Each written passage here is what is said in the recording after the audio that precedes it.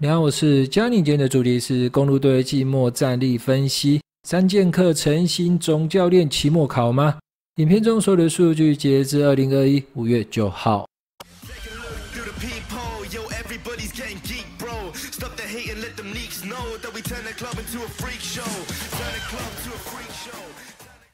公路队阵中的字母哥是联盟过去两个赛季的年度 MVP。实际上，过去两个赛季公路在例行赛的战绩也都是联盟的第一名。前两个赛季公路队在例行赛有多强势呢？上个赛季正负分为正十点一分，上上个赛季也就是拿下六十胜的赛季，正负分为正八点八分。但即便是如此，公路队连续两个赛季都站不上总冠军赛的舞台，上个赛季更是在第二轮就败给热火队。连续两个赛季的失败也让球迷意识到，原来季后赛强度跟例行赛完全不同。这一点是什么意思呢？上个赛季字母哥在例行赛场均数据是二十九加十三加五，投篮命中率为五成五。季后赛第一轮对魔术，场均数据为三十加十六加六，投篮命中率为五成九。不过上个赛季魔术队在例行赛的战绩只有三十三胜四十败，而公路队是五十六胜，所以双方实力有很大的落差。这里要注意的是，第二轮面对热火队，字母哥的场均数据掉到只有二十一点八分，投篮命中率也下降至五成，三分球命中率更是只有两成。也因为字母哥进攻技巧不够细腻的关系，所以 Chris Middleton 成为球队的控球前锋。这样的状况我们在丘人队也看过。Ben Simmons 因为投篮能力不佳，所以过去丘人在季后赛也曾经让 Jimmy Butler 担任控球前锋的角色。另外，上上个赛季，也就是公路队拿下六十胜的赛季，东区冠军赛对手是暴龙队。暴龙的防守守到字母哥场均只得二十二分，另外投篮命中率不到四成五。实际上，我们在过去就曾经提过，字母哥应该要学低位的技巧，因为以他的身高跟爆发力，在低位持球会带给对手很大的压力。很开心的是，本季字母哥在进攻端上有了更多的手段，其中包括低位、背筐、中距离，甚至是三分球等等。虽然在低位的把握性还不如过去的 KG、Tim Duncan、d a n o v s k y 等名将。但目前看起来，不管是字母哥，或者是球团跟教练等等，在经过两个赛季的失败之后，一定也懂，如果只打体能球，要在季后赛中走得远是有难度的。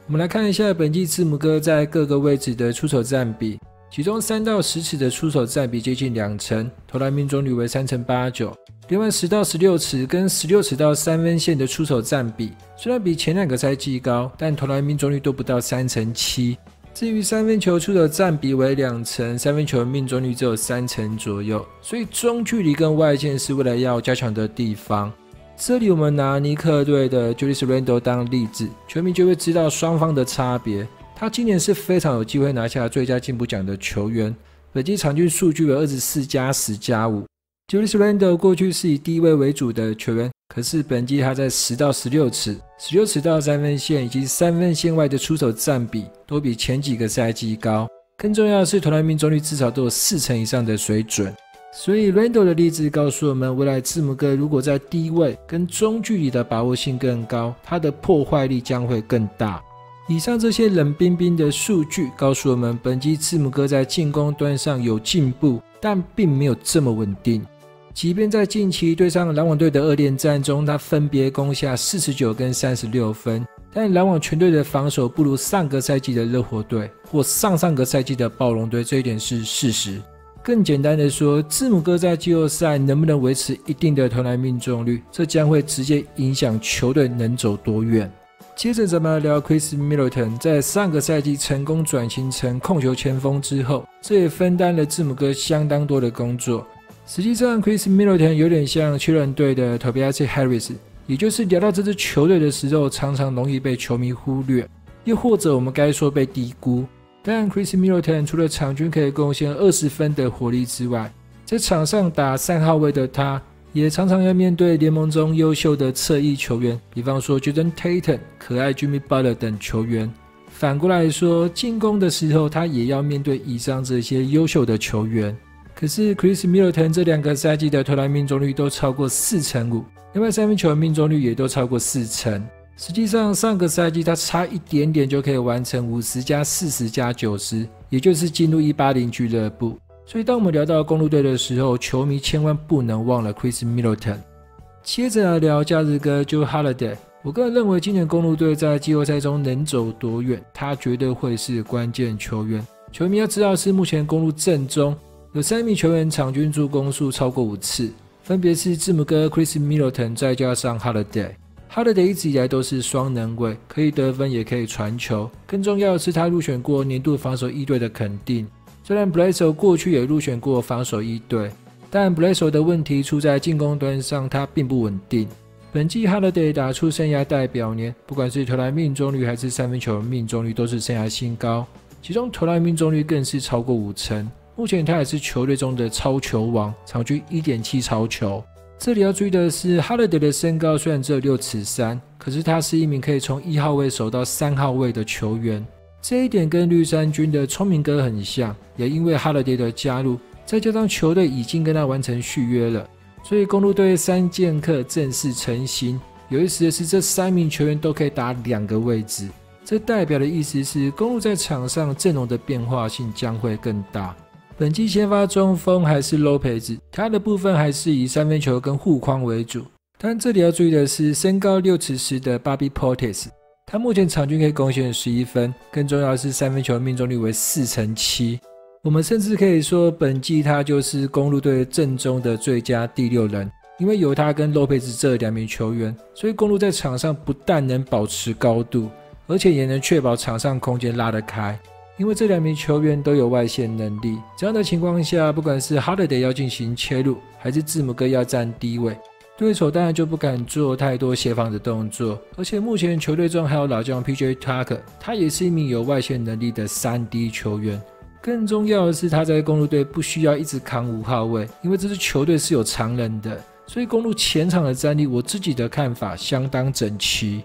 后场的部分，先发是放 d i v i n c e 这位年轻球员。实际上，本季也是他的生涯代表年，其中得分、助攻跟三分球命中率都是生涯新高。当然，这里要注意的是，从马刺转战公路队的 Forbes，不但场均可以攻下十分，更重要的是三分球命中率为四乘四，而且他的无球能力很优秀，所以场上会有更多的小组配合，这跟一般的定点射手有很大的不同。比方说，热火队的 Duncan Robinson 就是这样类型的球员。本季公路阵中有七名球员得分上双，除了先发五人之外，一位是前场的 Bobby Portis，一位就是后场的 Forbes。看到这里，我相信球迷应该会对本季的公路队有很高的期待，因为这支球队的战力相当平均，不管是先发还是替补，前场还是后场都是如此。球迷别忘了，这支球队中还有一位参加灌篮大赛的 Pat Conleton，他是一名打球很拼的球员，身高有六尺五。本季三分球命中率也有三成八。另外，球队也签下了 Jeff Teague 这位老将来增加一号位的战力。上一次我们聊过，七二人的阵容相当整齐，实际上公路的阵容也是如此。这支球队目前有三名球员入选过年度防守前二队的肯定，分别是 Lopez 跟字母哥以及 Holiday。老将 PJ Tucker 虽然没有入选过防守前二队，但没有人会否定他的防守能力。所以，即便目前的公路队在地形赛还是打比较快的球风，本季联盟场均出手次数为八十八点三，不过公路队是九十一点七，出手次数仅次于灰熊队。这样的情况下，也让对手的出手次数来到九十二点六，这是联盟最高的数字。简单的说，公路失分会高，是因为场上节奏打得很快。可是到了季后赛，当防守强度拉高之后，要的是稳定性，那么这个时候也许场上节奏可以试着慢一点，因为本季的公路队在 Holiday 加入之后，其实是有本钱打慢一点的，毕竟场上有三名会传球的球员。不过这个就要看总教练 Mike Budenholzer 的想法了。聊到总教练 Mike Budenholzer，这个赛季如果季后赛再走不远，也许换总教练是一个选项。这跟拓荒者的状况差不多，因为球团在阵容补强这方面。该做的都做了，不可否认，过去两个赛季，字母哥在进攻技巧上还不够细腻。不过总教练却没有在战术上帮助字母哥解决这样的困扰，这一点也是很多球迷，其中包括我自己，对于麦布登侯者有些质疑的地方。所以本季如果公路队这样的阵容再走不远，换教练应该是一个选项，因为新教练会带来新思维。最后来看一下薪资表，下个赛季在没有任何交易的情况下，团队薪资为一点四三亿，其中 Bobby Portis 的合约是球员选项，他的部分是一定要留的，否则以他本季的表现，其他球队一定会抢。另外，PJ Tucker 的合约到了，公路队如果可以留下这名老将，对球队来说当然是好消息。可是合约要给多少，这也许是一个问题。因为这支球队在跟 Holiday 续约之后，其实团队薪资已经爆炸了。不过好消息是，下个赛季先发阵容不会变，除非球团做出交易。整个来看，公路今年在 Holiday 加入之后，季后赛时场上将会多一颗引擎在运转。这当然可以减少字母哥以及 Chris Middleton 的压力，可是能不能走得远的关键还是在字母哥身上。简单的说，他低位跟中距离的投篮命中率必须要维持在一定的水准以上，这样才可以让自己跟队友有更多进攻的机会。至于字母哥本季的进步能不能通过季后赛无情的考验呢？就让咱们一起看下去吧。